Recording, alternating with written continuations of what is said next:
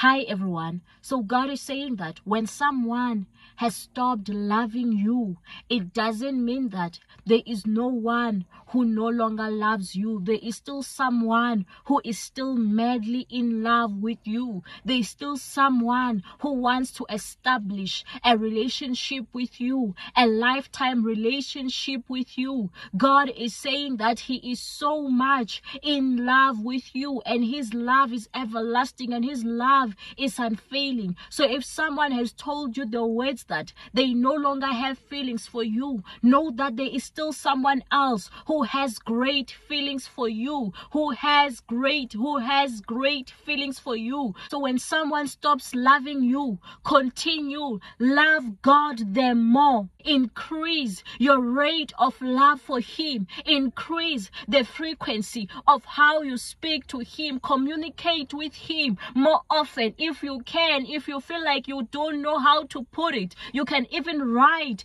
a message to Him. God is going to see that message. So God is saying that it does not end with that person who has told you negative words. There's still someone who loves you more in the mighty name of Jesus. And He's still going to come and provide warmth in your life. He's still going to come and give you comfort. And you are going to feel loved again in the mighty name of Jesus. Amen.